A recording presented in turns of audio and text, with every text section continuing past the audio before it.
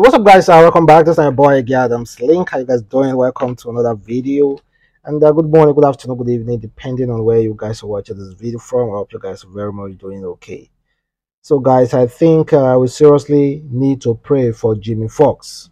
You know, the Hollywood superstar uh, actor and also a musician before but he doesn't really do music anymore. He's mainly focused on uh, acting. And if you know this popular movie, uh, Django Unchained, yes, of course, Jamie Foxx was the one that acted that movie alongside Leonardo DiCaprio. Jamie Foxx was currently hospitalized over unknown illness. They call this illness mysterious. Maybe his family have decided to keep it uh, uh, to keep it hidden not to talk more about the illness. So recently, they came out to say, see, everybody needs to pray for Jamie Foxx because it looks like something, something might happen. Then later they said it's no longer a life-threatening situation. That is not like recovery. Then today, they are now telling us that Jamie Foxx fans should be expecting the worst. So Jamie Foxx's family reportedly prepared for the worst as actor battles undisclosed medical complications. May, may not happen to Jamie Foxx. So it's one of my favorite uh, uh, actor out there, and when, whenever he drops any movie, I always, always watch it. And if you go on Netflix, there's this uh, vampire movie acted by Jamie Foxx. Come on, man. Alongside a Snoop Dogg. Come on, man. Jamie Foxx, do not go nowhere. We know you have so much to offer.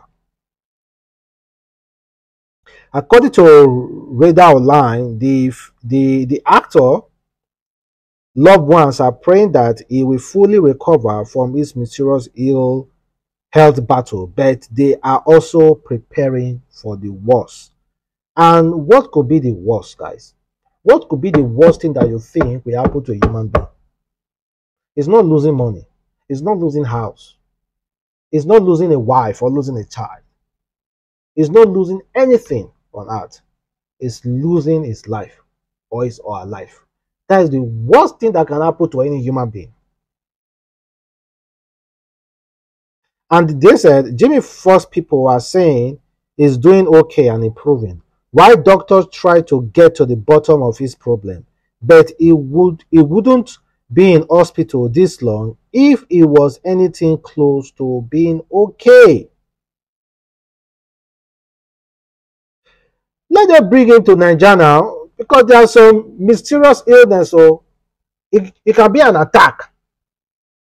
Please if anybody is close to Jamie Foxx, I am pleading. Let them bring it to Nigeria, to Nigeria or Ghana. This might be a mysterious attack. It might not be a medical something. Not be everything white medicine they cure. Not everything white medicine can cure. There are some spiritual effects. Some things that maybe maybe someone, an actor, that Jamie Foxx is uh, struggling uh, an active gig with might have traveled to India to do some uh, voodoo magic to get Jimmy Fox down. Yes.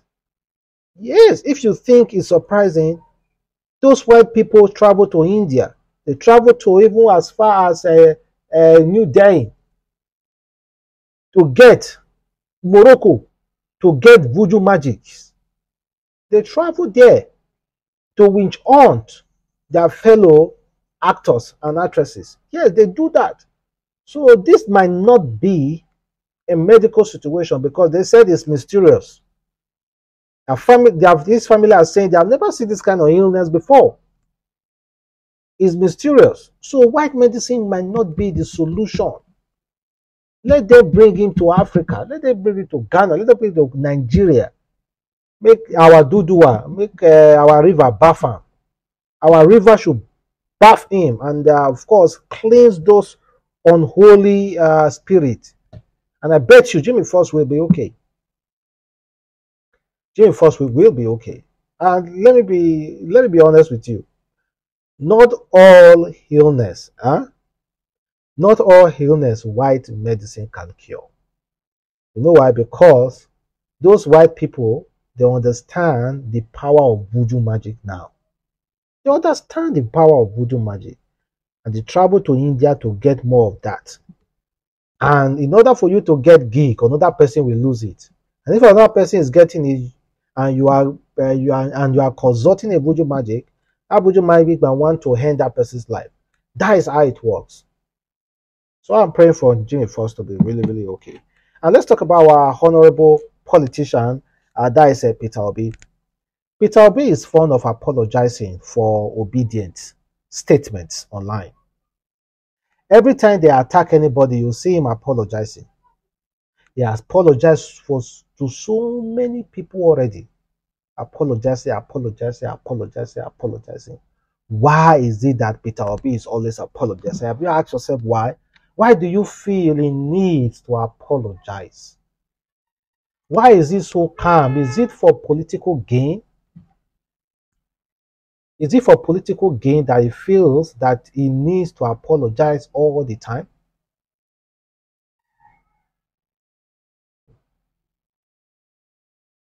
Is it for politics?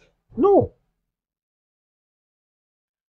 But someone made a remark, and that remark is coming from uh, a former Nigeria senator, although he's not a, senate, a senator now. He's Senator Shehu he said, Asiwaju Atiku, Buhari never denounce or apologize for whatever their supporters say or do. Peter keeps apologizing and, de and disassociating. If you keep moving on this apology path, you will kill the libido of your movement. You spark a fire Embrace the inferno with courage. Do you think he should heed to, to this advice? Why do you keep apologizing on behalf of Obidients? You started a movement. Why not embrace it with all your might? Because the way you did they apologize, they apologize, they apologize, they apologize, they apologize every day your followers going to be like, which kind of be this one now? This man do they apologize for. They allow us express ourselves, all those kind of stuff. And if you check, it, people are basically expressing themselves not because of Peter Obi. I think they are expressing themselves because of the system. Because they are not being, nobody is hearing them loud and clear. It seems like everybody just is not hearing what is happening in the system.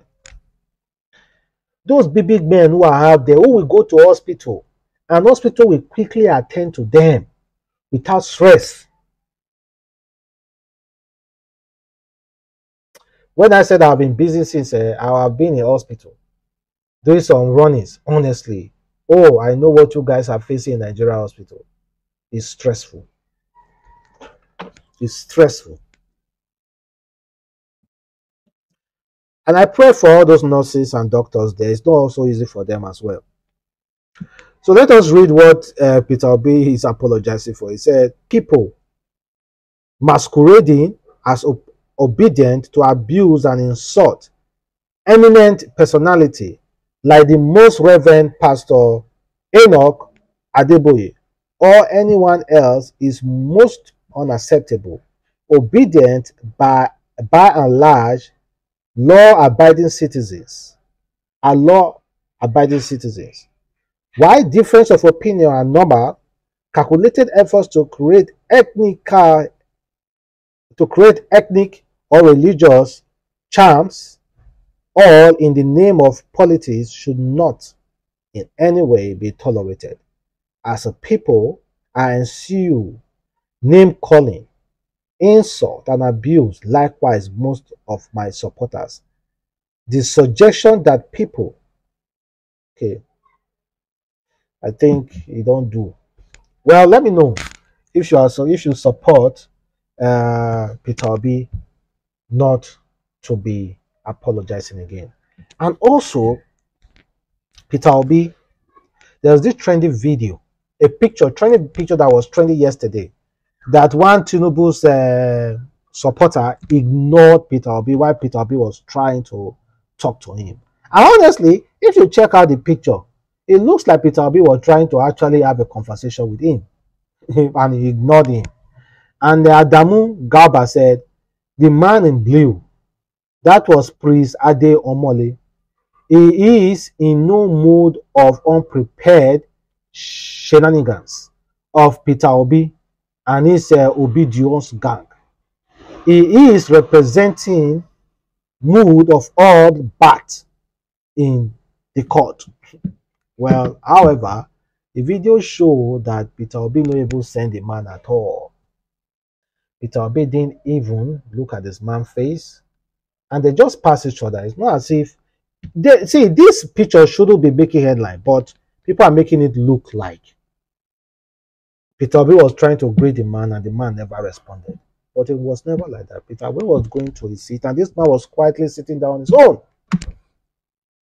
But I got to watch. It's a boy, Adamslink. Wonderful day. Stay blessed.